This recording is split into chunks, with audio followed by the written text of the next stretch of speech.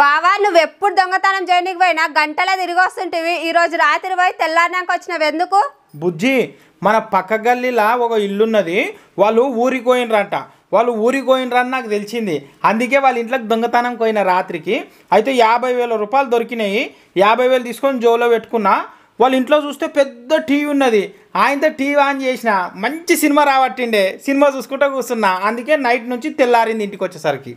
సడన్గా వాళ్ళు వస్తే ఏం చేస్తుంటివి? వసే నీ పిచ్చిదానా? వాళ్ళు ఎడికో ఊరికి పోయినారు కదా. వాళ్ళు ప్రతి స్టేషన్కి వచ్చినప్పుడల్లా వాట్సాప్ స్టేటస్లో ఫోటో పెడతారు మేము ఈ స్టేషన్లో ఉన్నాం మేము ఈ స్టేషన్లో ఉన్నామని నేను అది చూసుకుంటూ కూర్చున్నా. వాళ్ళు తెల్లారినాక మన పక్క గల్లీలో ఉన్న స్టేషన్కి వచ్చినప్పుడు మళ్ళీ ఒక ఫోటో పెట్టిర్రు. అది చూసి అప్పుడు ఆ ఇంటికి తాళం వేసి మళ్ళీ వచ్చిన ఆడవాడు ఆడవాడు మోపాయినారు ఇట్లా